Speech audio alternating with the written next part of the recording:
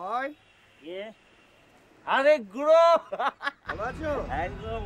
আচ্ছা শোনো ভাই হ্যাঁ। তোমার পাইয়া চোটটা হয়েছে না বুঝলি? হ্যাঁ। তুই অনেক তেজপাতা পাবি। কি তেজ তেজ তেজপাতা নোট নোট। বুঝলি? আরে থানায় কেস হয়েছে তো? আরে হ্যাঁ হ্যাঁ এসব ভুল আমার হয় না। চার চারবার হয়ে গেল। তবে এই সাড়ে তিনবার না চারবার? একদম চারবার হ্যাঁ। তুই তো ওস্তাদ রে তুই তো আমারও গুরু।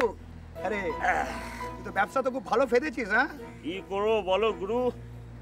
এটাই তো এখন আমার কাজ আর কোনো কাজ নেই আমার। আরে বারো বছর হয়ে গেল কারখানা বন্ধ হয়ে গেছে বেকার। শালা বিক্রি হয়ে গেছে আমি বউ ছেলে মেয়ে কি খাওয়াবো? কি খাব? আমি বুঝতে পারছিস না। তারপর একদিন ওই কি হলো? তারপর তো টান্টুদা ধরে নিলাম তো। হ্যাঁ? টান্টু! টান্টু? মানে মদ ধরে নিয়েছো? আমার মাতাল ভাই আরে বাবা মদটা খাওয়া ধরেই না হলো। কি হলো? আরে একদিন মদ খেয়ে যাচ্ছি বাইপাসের উপর দিয়ে বুঝলে তো? একটা বাইক এসে ধাক্কা দিল ব্যাস পড়ে গেলাম। তারপর? তারপরে কি? হঠাৎ এসে আমার হাতে দুশো টাকা গুঁজে দিয়ে বলল যা যা চলে গেল থেকে। তুই লাইন ক্লিয়ার। একদম পরিষ্কার হয়ে গেল জানো তো? হ্যাঁ। এবার প্রতিদিন রাতের বেলা আমি মদ টদ খেয়ে বাইপাসের উপর দিয়ে হাঁটি বুঝলে। আর গাড়িতে এসে আমার ধাক্কা দেয় আমি পড়ে যাই টাকা। এখন সোজা লাইন। একদম পরিষ্কার। এই মেয়েটা বড়। এই মেয়েটা আমার ধাক্কা দিল আমি এলাম আমি বললাম আমার ছেড়ে দে আমার কিছু হয়নি। এ মাল আনলো আমার পুলিশ কেস হয়ে গেল একদম আমার ক্ষতিপূরণটা দিচ্ছে না তুমি কোনো চিন্তা করবে না আমার মাতাল ভাই বুঝলে? আমি দেখেছি শুনেছি ঠিক আছে? শোনো। বলো তাহলে এটা। শোনো ওই যে মেয়েটা তোমাকে ধাক্কা মেরেছে ওর বাবা ওর বাবা এই হাসপাতালের বড় ডাক্তার। বড় ডাক্তার সালা লক্ষ লক্ষ টাকা। হ্যাঁ? ওই সালার জন্যই তো আমাকে সাত বছর জেলের ঘানি টানতে হলো। বুঝলি ভাই? চাকরিটাও জোগাড় করতে পারলাম না। আচ্ছা রে শোন আমাদের এমার্জেন্সি দেখেছিস? এমার্জেন্সির সামনে তোমার এই বডিটা দেহটা ফেলে দেবে। ফেলে দেবে আমি আছি। তুমি একদম ঘাবড়াবে না ভাই আমার মাতাল ভাই ঘাবড়াবে না। তোমার এই ক্ষতিপূরণের ব্যবসা তুমি চালিয়ে যাও অনেক তুমি তুমি জীবন অনেক বড় হবে। তা ভাই হ্যাঁ? কথা বলব তোকে? বলো না বলো। এই যে তুই চলন্ত গাড়ির সামনে নিজেকে ধাক্কা লাগাস যদি কিছু হয়ে যায়? আরে না না তুমি কিছু ভেবো না। আরে আমি সব হিসেব নিকেশ করে করি আমি সব ভেবে চিনতে করি। গাড়িটা যখন আসে না আমি আস্তে করে গাড়ির সামনে দাঁড়িয়ে যাই গাড়িতে ধাক্কা দেয় আমি পড়ে যাই। তো তুমি ড্রাইভার বুঝে ফেলো? একদম সব একদম আর যদি কপালে থাকে না মরে যাব।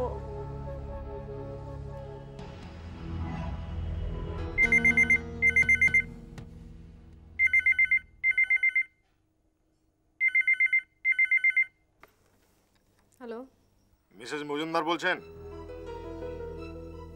হ্যাঁ আপনি কি বলছেন? আমি রমেশ খান্না। হ্যাঁ স্যার বলুন। শুনুন আপনার কেসটা একটা নতুন ডেভেলপমেন্ট হয়েছে। কি ডেভেলপমেন্ট হয়েছে? আপনাকে যে বলেছিলাম না আপনার ছেলের অ্যাকাউন্ট থেকে যে উনিশ লাখ টাকা উইথড্রল হলো ও ব্যাপারে কিছু ইনফরমেশন দিতে পারবেন? আমি কিছু জানি না। আমার ছেলেও কিছু জানে না স্যার। হ্যাঁ জানে না তো বুঝলাম। কিন্তু আমাদের হাতে একটা ডকুমেন্ট এসে গেল। ও ক্যাশ উইথড্রল ওতে আপনার ছেলের নিজের সিগনেচার আছে। আহ্বানের? হুম এখন সিগনেচার ভেরিফিকেশন করে দেখতে হবে যে ওটা সত্যি সত্যি আপনার ছেলের হ্যান্ডরাইটিং নাকি ফ্রড আছে। জাল সব জাল বিশ্বাস করুন। আমার ছেলে কিছু জানে না। ও তো জানেই না ওর নামে কোনো অ্যাকাউন্ট আছে। হ্যাঁ কিন্তু মুশকিল হয়ে গেল কি জানেন? এত কথা এখন তো মানে আপনি একবার আমার সঙ্গে দেখা করতে পারবেন? দেখুন সব কথা তো টেলিফোনে বলা যায় না। পার্টির সাথে এভাবে অফিস থেকে ফোনে কথা বলাটা আমাদের নিয়ম নেই। আমি এখনই যাব স্যার। না না এখন তো হবে না এখন আমার কাজ আছে। তাহলে কখন দেখা করব? অফিসের মধ্যে এসব কথা তো হবে না। ক্লাবে? না আমি আজকে ক্লাবেও থাকব না। আজ আটটার সময় আমার পার্ক স্ট্রিটে একটা হোটেলে পার্টির সঙ্গে কথা আছে। ওখানে ধরুন আমি নটার সময় ফ্রি তা আপনি একটু হাতে সময় নিয়ে আসতে পারবেন? পার্ক স্ট্রিটে আম- আমি না শুনুন শুনুন কোনো ঝামেলা নেই। আপনি একটা ট্যাক্সি নেবেন বলবেন যে পার্ক সার্কাস দিয়ে পার্ক স্ট্রিটে ঢুকতে। একটু এগুলোই দেখতে পাবেন নার্সিংহোম আছে আর কে মিত্র নার্সিংহোম। ঠিক ওর উল্টো দিকে একটা হোটেল আছে সুলতান হোটেল সুলতান। আপনি একদম ফিফথ ফ্লোরে চলে আসবেন। আমার সুইট নাম্বার হচ্ছে পনেরো ফিফটিন ওয়ান ফাইভ আপনি নটায় আসুন। মিসেস মজুমদার কেসটা খুব বড় বড় হয়ে গেছে, জানেন? আপনি চিন্তা করবেন না, আমি কোশিশ করছি কি আপনাকে কীভাবে হেল্প করা যায়। ওকে ওকে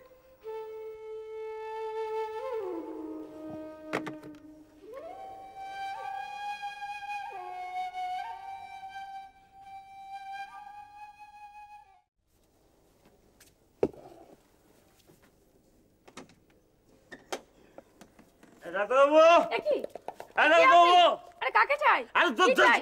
ডাক্তারবাবু এই যে চাই আপনার? এই যে শুনুন, শুনুন, শুনুন, এই যে সিকিউরিটি গুলো কি? কি চাই? আপনার ঘরের মধ্যে ঢুকে এসেছেন কেন? আশ্চর্য দেখুন দেখুন আমার আমার প্লিজ আমার কিচ্ছু চাই না শুনুন এই যে, দেখুন এই যে আমার ন্যায্য পাওনাটা পেয়ে গেলে আমি চলে যাবে। কিসের কিসের আশ্চর্য কালকে আমার অ্যাক্সিডেন্ট হয়ে গেল আমার ন্যায্য পাওনা দিতে হবে না বাইপাসে অ্যাক্সিডেন্ট হয়ে গেল আমার। এই যে আমার এত ক্ষতিপূরণ আমার দিতে হবে না? আমার ক্ষতিপূরণটা না দেখুন দেখুন একটা জিনিস এই যে দেখুন আমার পায়ে এতটা লেগে গেল তো। আমি তো খেটে খুটে খাওয়া মানুষ আচ্ছা ঠিক আছে। দেখুন আমি তো আমি তো বেকার হয়ে গেলাম আমি বসে থাকতে হচ্ছে আমার ক্ষতিপূরণটা দিয়ে দেবে তার মানে ঘরের মধ্যে কেন? কত চাই আপনার। দাঁড়ান, আমি কত আমার বেশি চাই না আমার এক হাজার টাকা দিলে আমি চলো হ্যাঁ? এক হাজার। আচ্ছা ঠিক আছে ঠিক আছে আপনি এখানে দাঁড়ান আমি আনছি। একদম দাঁড়িয়ে থাকবেন। তাড়াতাড়ি দেখবেন দিদি ভাই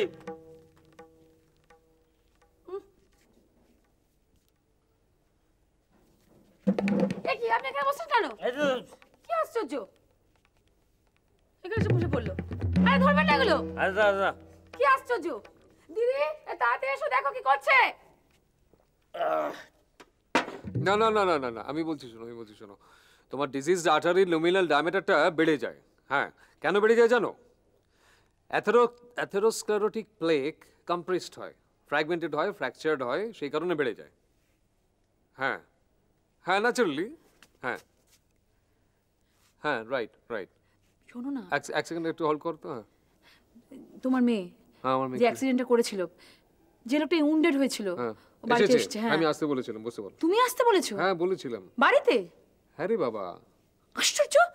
আশ্চর্যের কিছু নেই আমি হ্যালো তখন আমি তোমাকে একটু বাদে ফোন করছি হ্যাঁ। সত্যি তুমি না?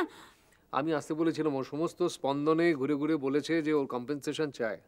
আর স্পন্দনে আমার শুভানুর তো এখনও কিছু আছে? তারা উস্কে দিয়েছে নক্ষত্র রায় বড় ডাক্তার অঢেল টাকা তার ও তুমি তুমি চলো তো লোকটা মদ খেয়ে এসছে। হ্যাঁ মাতাল। ক্ষতিপূরণটাই ওর ব্যবসা। ব্যবসা? হ্যাঁ ওইভাবেই ও টাকা রোজগার করে। গাড়ির সামনে পড়ে যায় অ্যাক্সিডেন্ট করে ইচ্ছে করে।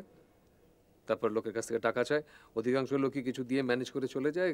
কেউ দিতে রিফিউজ করলে মাস্তান ডেকে আনে। ওই লোকাল মাস্তানদের সঙ্গে যোগাযোগ আছে তারাও টাকার ভাগ পায়। এই সমস্ত থানা পুলিশ পর্যন্ত করে ও তো বুঝতে পারেনি তাই নিয়ে গেছিল ওখানে স্পন্দনে। আমি দেখেছি খুব মাইনার একটা ইনজুরি পায়। তুমি চল চলো তো আমার মানুষের ভয় করছে। ভয়ের কিছু নেই। চারপাশের অবস্থাটা কোন জায়গায় আমরা বাস করি তুমি ভাবো। একটা মানুষ তার নিজের জীবনের ঝুঁকি এইভাবে নিয়ে টাকা রোজগার করে শুধুমাত্র বেঁচে থাকার জন্য। তুমি যাও আমি আসছি আসছি। এক সেকেন্ড আমি কথা বলে আসছি।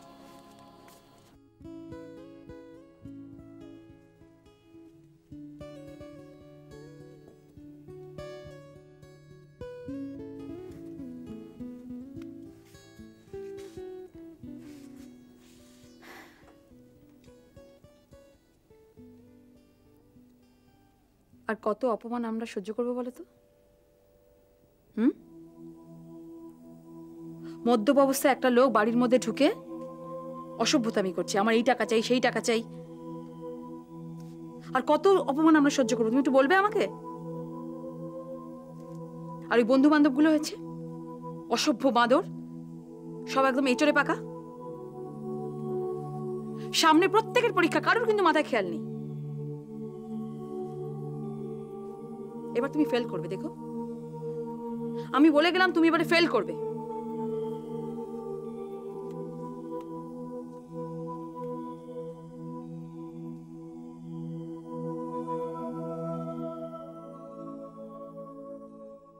বলছেন ডাক্তারবাবু, দেখুন, একটা জিনিস, দেখুন, আমার এই পায়ে না কালকে ওই বাইপাসে অ্যাক্সিডেন্ট হয়ে গেছে, আমার আমার তাই আমি তো এক মাসের জন্য বসে গেলাম, আমার যদি ক্ষতিপূরণটা দিয়ে দেন তাহলে আমার ক্ষতিপূরণ তো দিতেই হবে। তুমি কাজটা কি করো? আমি তো আমি তো জোগাল জোগালের কাজ করি আমি। যোগালি মানে? কেন রাজমিস্ত্রির জোগাড় এই যে বাড়িঘর দরজা হয় না এই চুন সুরকি এসব আমার মাথায় করে নিয়ে যেতে হয়।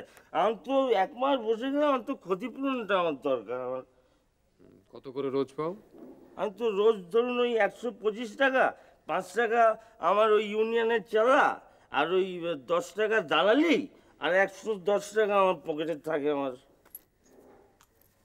দালালি দিতে হয়? হ্যাঁ দালালি দালালি দিতে হয়। কেন? দালালি দিতে হবে। দালালি না দিলে তো কাজ পাবো না। দালালি তো দিতে হবে। ওই যে ওই ল্যাংড়া মন্টু আছে না ল্যাংড়া মন্টু? চেন তো? আরে ওই তিলজলার ল্যাংড়া মন্টু আছে না? ল্যাংড়া মন্টু তো দালাল। দালাল? দালাল দশ টাকা দিয়ে দালাল কাজ দেয়। দালাল নালে তো এই গ্রামগঞ্জ থেকে কত লোক রোজ রোজ আসছে আমাদের কাজ মিলবে না দালালি দিতে হবে। তাছাড়া কারখানা বন্ধ হয়ে গেছে এখন তো আমাদের মার্কেট খুব খারাপ ডাক্তারবাবু বিশ্বাস করুন। আমি তো যতদূর শুনেছি তুমি আগে কারখানায় কাজ করতে। সে তো অনেক আগে অনেক আগে একটা বিস্কুটের কারখানায় আমি কাজ করতাম। সে তো কারখানাটা বন্ধ হয়ে গেল কেন?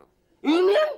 ইউনিয়ন তো বলল যে কর্মচারীদের ওই মাইনে বাড়াতে হবে মালিক কারখানা স্ট্রাইক করে দিল।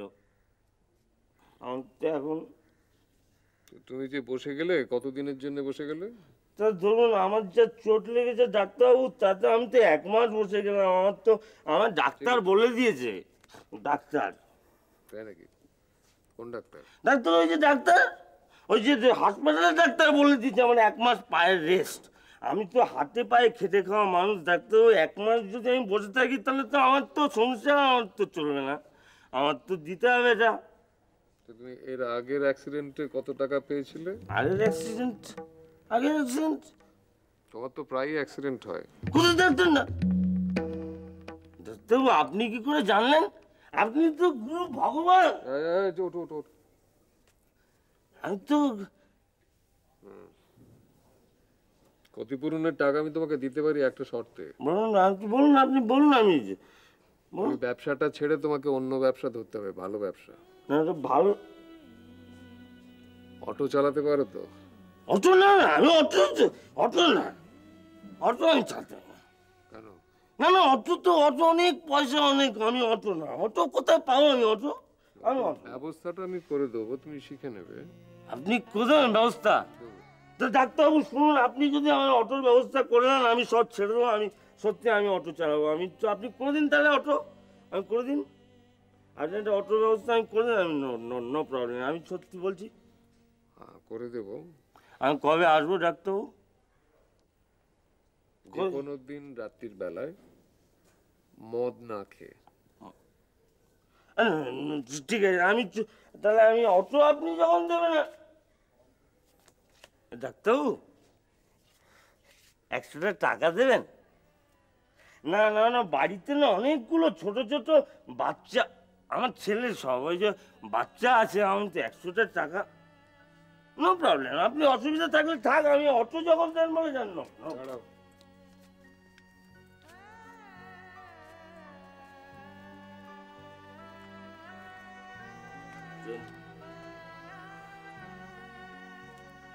কবে আসবে?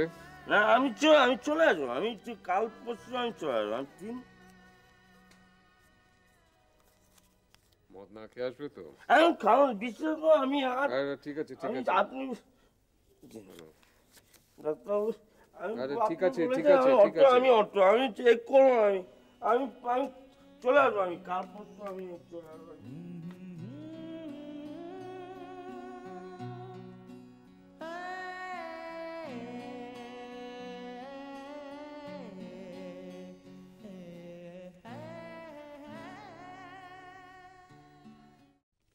মা।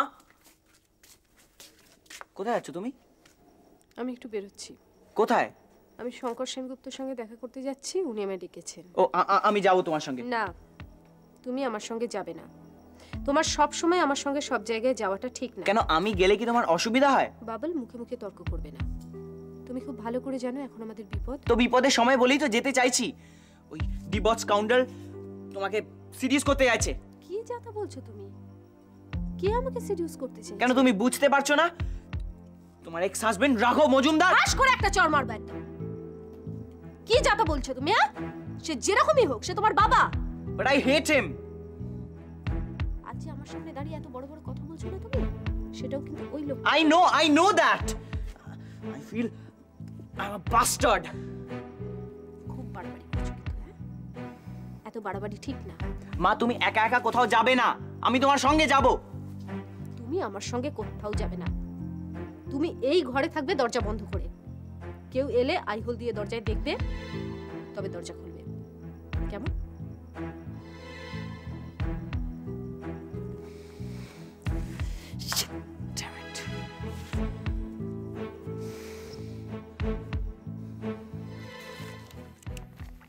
এখানে একটা। কর। ইনিশিয়াল দিবি হ্যাঁ, ঠিক আছে। প্রসঙ্গদা এ ঝামেলার কাজ আর ভালো লাগছে না। আমি বরং গাড়িটা দিদির নামে লিখে দিচ্ছি।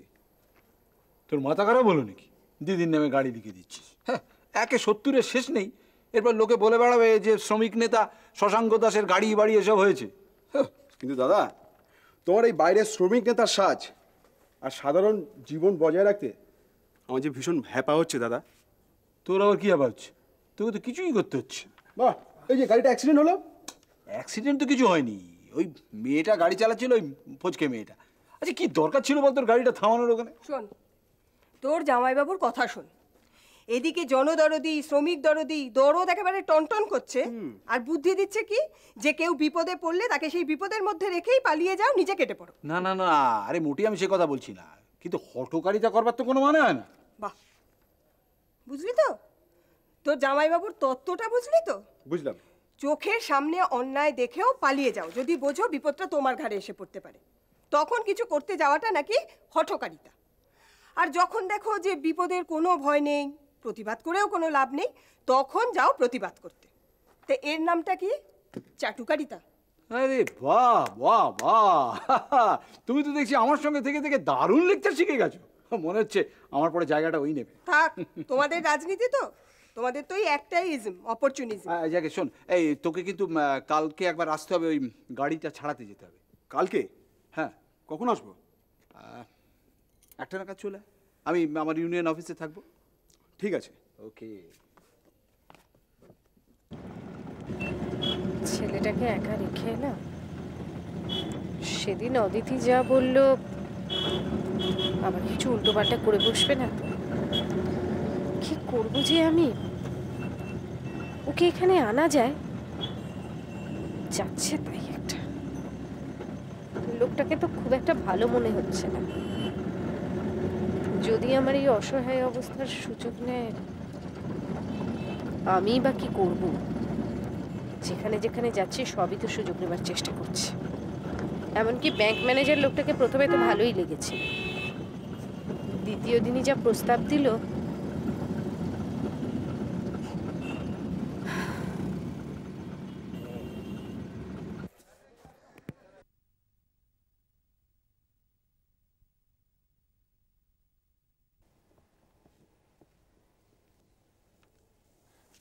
আচ্ছা তুমি বলে বসলে কেন? ওকে তুমি অটো কেনার জন্য ব্যবস্থা করে দেবে?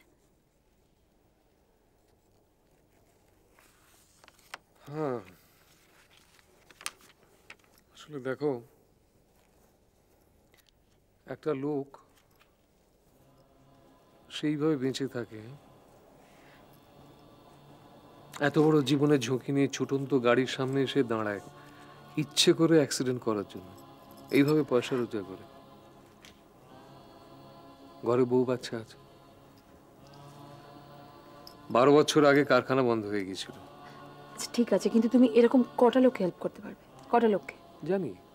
পারব না বেশি লোককে আমি কি করে পারব হেল্প করতে? আর পারলেও সেটা স্থায়ী হয় না। রেবতীকেও তো তুমি নিয়ে এসেছিলে। কি হলো? ওর ছেলেকে তুমি আটকে রাখতে পেরেছিলে? পারোনি।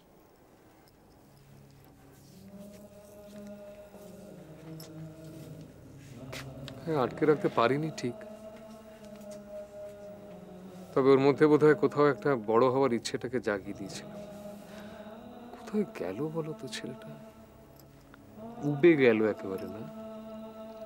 জানো না। আচ্ছা কেমন আছে বলে তোমার মনে হয়? কিছু জানি না।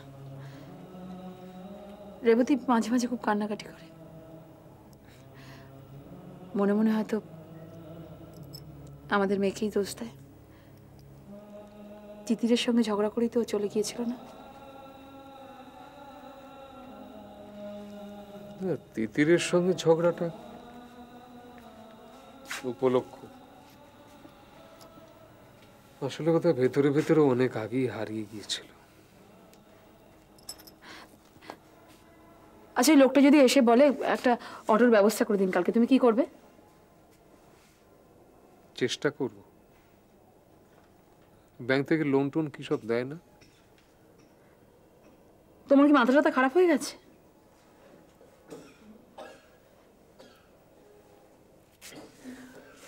আচ্ছা একটা লোক সারা জীবন অ্যাক্সিডেন্ট অ্যাক্সিডেন্ট খেলা খেলে যাবে। এরকম অনেক লোক আছে। একটা লোক একটা লোক একজনের জন্য তার যতটুকু সামর্থ্য ততটুকু যদি করতে পারে তাহলে তো অনেক অনেক অনেক লোকের উপকার হয়। তুমি এরকম পাগলামি কেন করছ বলো তো?